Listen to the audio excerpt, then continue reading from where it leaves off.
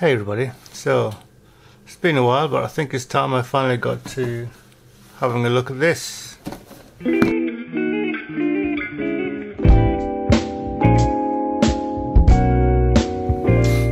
So this is the Ark Models Buran, Buran um, Space Shuttle. This is the Russian answer to the American Space Shuttle and uh, it's a kit I didn't know existed until I uh, was uh, randomly going through eBay and uh, this thing turned up. As you can see everything's written in Russian so I don't actually understand what it means but I know this machine is called Buran. Um, it's a 144 scale kit, as you can see down here. And uh, yeah, I've had it quite a while. How long have I had it? Uh, uh, I bought it, uh, let me see. It arrived sometime in June 2020. So it's been sitting in the stash for that long. A little piece of paper here. And uh, yeah, so I thought it's about time I had, a look at it. Uh, I've never heard of ARK models before, before this one. And it came all the way from Russia. Uh, in fact, uh, I'll see if I can find uh, it came uh, wrapped up in brown paper, and uh, instead of having a post label like uh, a lot of things have these days, it's had a whole set load of stamps across it. Um, yeah, so I'll, uh, I'll take a look see if I can find it. Just a moment, please. Nope, can't find them anywhere, but if I do find them, I'll pop them somewhere behind me. Maybe. Uh, right then, let's get down to this. Anyway, here it is. The Buran Shuttle in 148 scale. Um, so on the front there, got a nice painting of the uh, vehicle itself. See if I can get rid of that shine. There you go. It's all covered in plastic, this box. Uh, ARK models over there. Uh, all stuff that I, I generally can't read anything here except ARK models over there and 144 down here. On this bottom side, get win. There's some photographs of the vehicle itself over here. Uh, chase plane there, MiG something or other. And uh, pictures are probably CAD renders of the uh, finished kit. And uh, AK14402 I think is a model number. On this side, it's a big box, let's see if I can get you all in. Can you focus? There you go. Uh, same information with the painting. On the back side, or this side, let's have a look. Got uh, some stuff there, uh, again 144 scale. Uh, not suitable for children under three years because of small parts, so some warnings there. Uh, here it tells you how big the model is. 230 millimeters by 165 millimeter wingspan and a barcode. And on the other side same as the other side. So time to cut into this. Got a little cutting knife. I'll go for the sickle shape one this time. Right then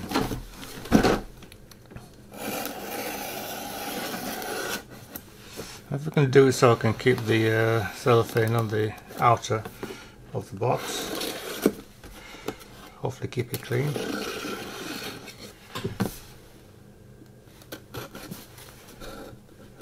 Probably edit this down.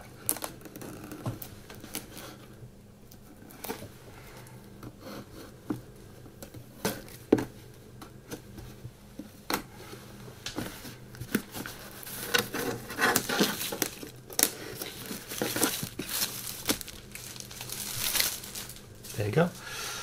Put the away. Right then. Now it's a very big box as I mentioned and uh, from previous experience of building a the American shuttle all those decades ago I know the vehicle isn't that big so let's see what we have in here. We have a cardboard box. uh, let's put this somewhere safe. There we do. So there we go.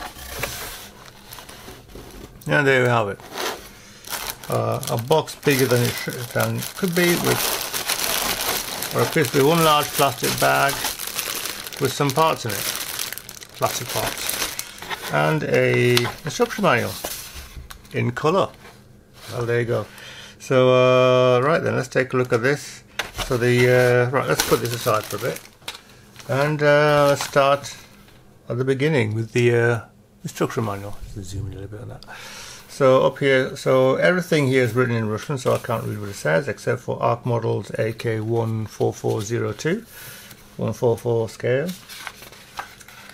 Uh, we turn the page, first page, is it all in? No, is it, is it? Yes it is. So we have um, sprue map.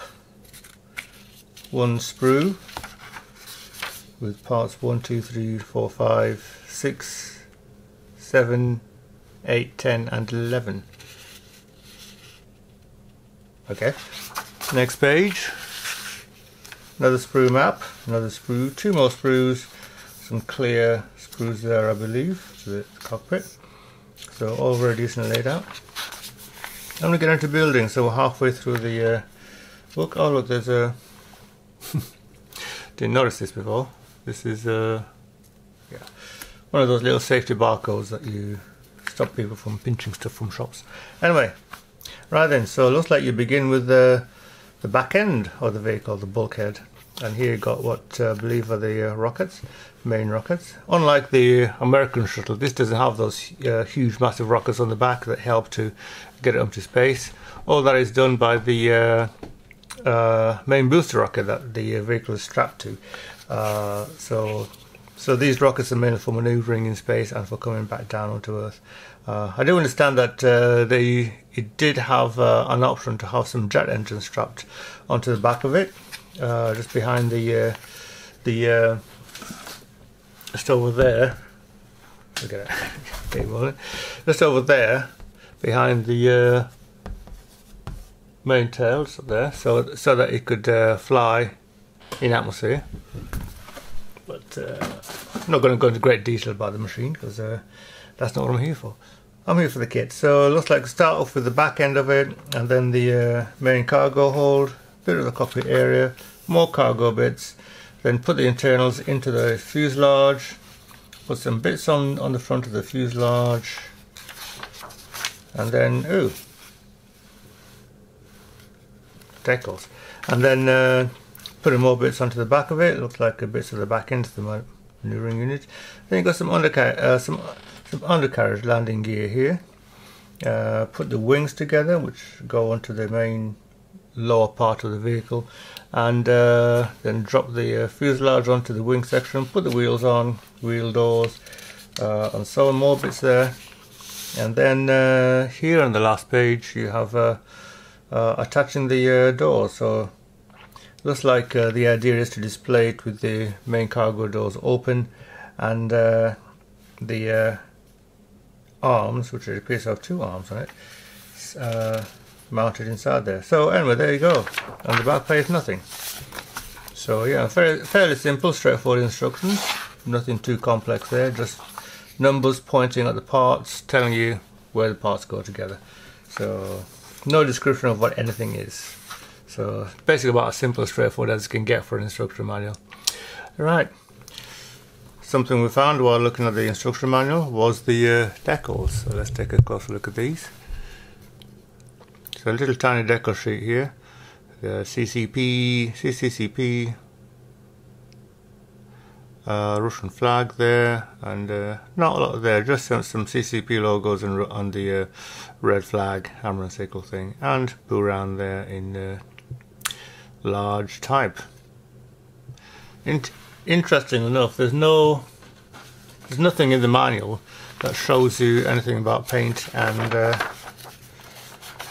and uh, decal fitting. So I guess one has to go by the box art over here. So yeah, looks like the tiny CCPs go on the uh, arm. So there's that. Got CCP on the wing there. Uh, no mention of where the uh, big Buran words go. At least I think it says Buran, but I could be wrong. So, yeah, looks like a little bit of research going to be necessary. This machine basically took its first flight in, was it? When was it? See if I can interpret anything here. 1990? Probably earlier than that. Took its first flight quite a long time ago and uh, that's all it ever did. It went up autonomously. You know, there was no humans aboard, so it was all uh, flew itself on computer control, I, I imagine. So it went up on the big uh, Energia uh, booster rocket and uh, did what it was supposed to do, came down, landed perfectly, and that was it. Uh, at that point, Russia ran out of money, Russia split up, and uh, there it is. Anyway, I shall put that aside and uh, put the decal somewhere safe. Let's have a look at the plastic. Big old bag of plastic.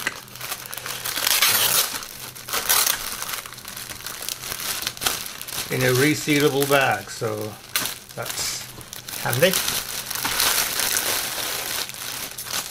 That to the side for the time being. Ah, that is a lot of plastic. Well, big plastic, so I guess it was a big vehicle. So I'll just start with the first sprue off the top. Can you see it? There you go. On the blue background. There you are. So, what can I say about this plastic? These molding uh, Ark models in the, in the middle there. Uh, doesn't tell me what sprue this is and uh, in fact as I look at the parts there is no numbers on the uh, parts themselves.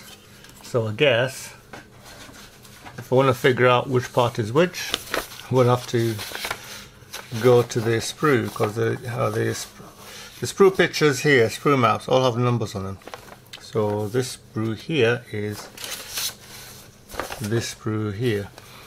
So this is part 15, this is part 14, part 18, this one is 19. So yeah, I may in fact uh, take a pen out and just write some numbers on the parts themselves, on the blind side at least, see if it helps.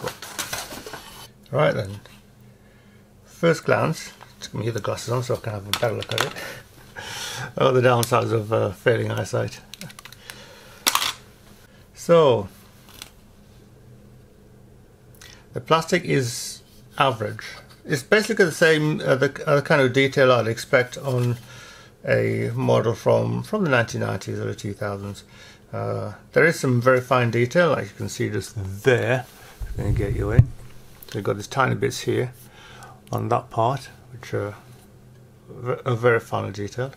I guess there's not a lot of necessary detail on the outside of this because the vehicle didn't have all that much detail to begin with. Uh, or did it? Am I getting that wrong? Uh, anyway, so got th this I believe is the top part of the vehicle, the doors which are closed. So it looks like you have the choice to put in uh, closed bay doors or open bay doors as which I'll see shortly. Um, the main fuselage again the uh, detailing there is fairly clean and neat and tidy uh, nothing terribly exciting but not fair pass at all certainly a good 8 out of 10 I'd say for this this particular sprue at least um, yeah not bad uh, anyway lots of uh, ejection pin marks something that gets talked about a lot in, in these uh, type of videos. Uh, fortunately, they're all in places that won't be visible. They're all they're all on the blind side. Even the ejection pins for the uh, these rocket thrusters, little boosters here, they're on the inside. So yeah. Anyway, there we have it. So that's sprue number. I don't know what's it's which nut which sprue it is. Sprue I shall refer to the manual. This is uh, sprue, I shall go with uh, sprue number three because it, it, because it's the third sprue in the in the manual. In fact, let's have a look. I'm looking at this. I'm seeing there's a part 28 there, which isn't there. Oh, I'm looking at the wrong. Oh, there it is. So I'm looking at this upside down. There you go yeah, so anyway, I'll mark this as a sprue 3. In fact, I'll do that now. Where's that pen go?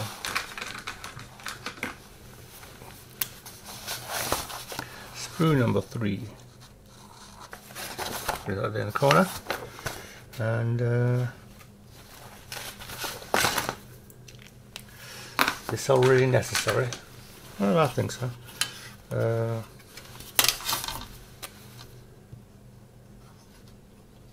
There you go. I suppose I could have written it on there, but I don't want to. Right then, that aside for the time being. And let's go to the next sprue. This being sprue number two. So let's get the right side up. Now unfortunately, there's detail on the inside parts here. These are, I believe, are the main cargo bay doors. But you also have uh, push pin marks on here. There, there, there, there. Four of them, clearly visible. So it looks like some work is going to have to be done to get rid of those. Assuming you're going to build it with the doors open. Because you could always close the doors and uh, that wouldn't matter. Which is what the other parts are for. Again, the uh, this, this sprue contains most of the little parts uh, the wheels, landing gear, uh, tiny tiny landing gear there, uh, over there and there, so on. Uh, the arms, I believe, that's one there, that will be another one there. Well, that's the arm, that's an arm, that's just a pipe of sorts. Uh, uh, wheel bay doors, I believe, and some other parts for the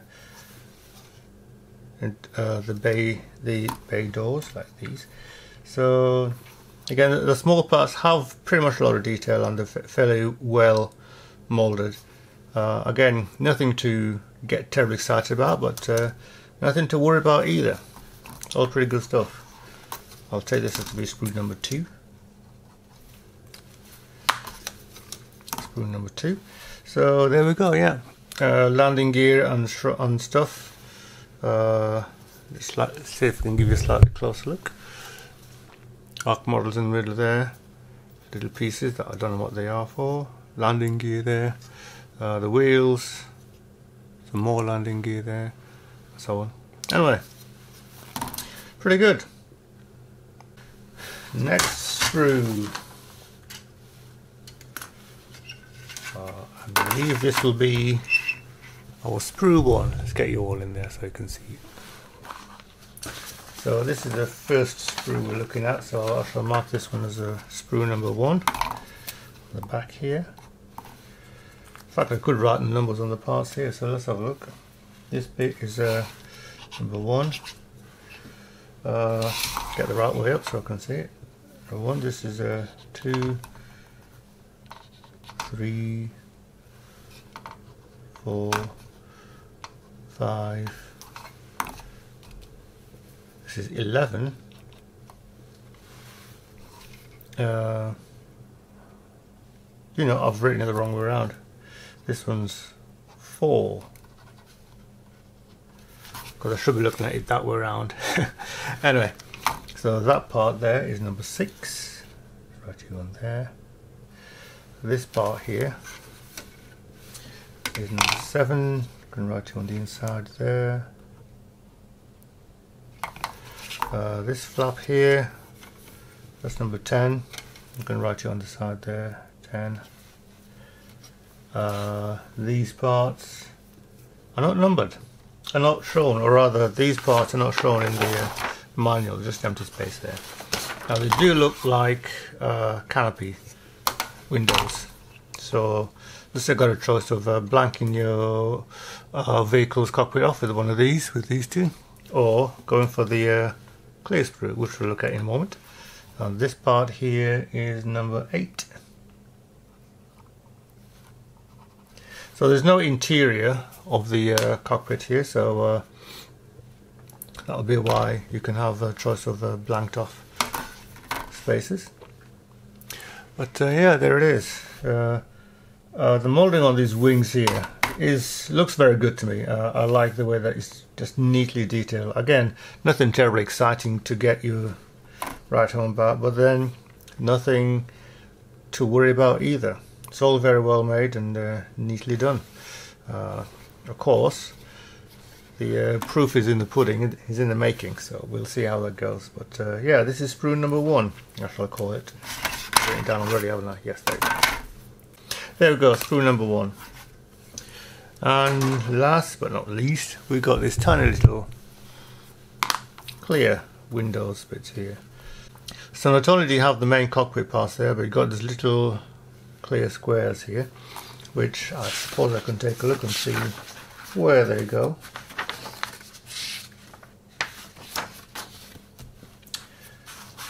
Find out what, the, what, what they're numbered first would help. Uh, 23. So let's have a look. Yeah, those are. So these two here are numbered 23. Let's have a look. Hmm. So it's uh, we got uh, a bit of a problem here. So we've got the uh, this one here like that, but there's no pieces on the, on the side of it. So you've got just that square, and that one there. Yeah. So already we have a little problem here. But then I doubt very much these are going to be where where would they go anyway? I suspect there'll be the uh, windows set on the inside. There we go.